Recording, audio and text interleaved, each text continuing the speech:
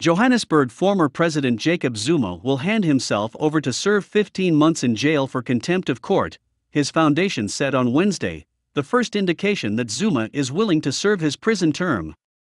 The Constitutional Court sentenced Zuma on June 29 to 15 months in jail for failing to appear at the Zondo Commission of Inquiry, and gave him five days to appear before police. Below are some of the main scandals involving Zuma, South Africa's most divisive president since the end of apartheid in 1994. He was in power from 2009 to 2018. The public protector published a report in 2016 entitled State of Capture alleging that Zuma's businessman friends, the Gupta brothers, had tried to influence the appointment of cabinet ministers and were unlawfully awarded state tenders.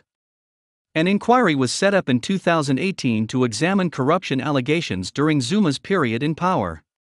Zuma denies wrongdoing and has so far not cooperated. The Guptas, who also deny wrongdoing, left South Africa after Zuma's ouster. Zuma is being tried on charges including corruption and fraud relating to AR 30 billion, now $2 billion, arms deal from the 1990s, when he was deputy president. The charges were set aside in 2009, paving the way for Zuma to run for president, but were reinstated in 2018.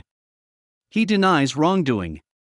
Zuma fired Finance Minister Nhlanhla Nene in December 2015 and replaced him with little known parliamentary backbencher Des Van Rooyen.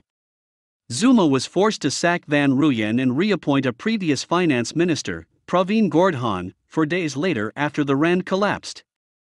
President Cyril Ramaphosa reappointed Nene in February 2018.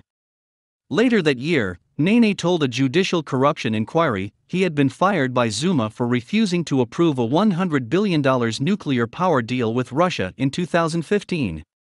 Zuma fired Gordhan as finance minister and Mcebisi Jonas as deputy finance minister in a midnight reshuffle in March 2017. South African financial markets plummeted, with senior officials in the governing African National Congress, ANC, expressing anger at the lack of consultation.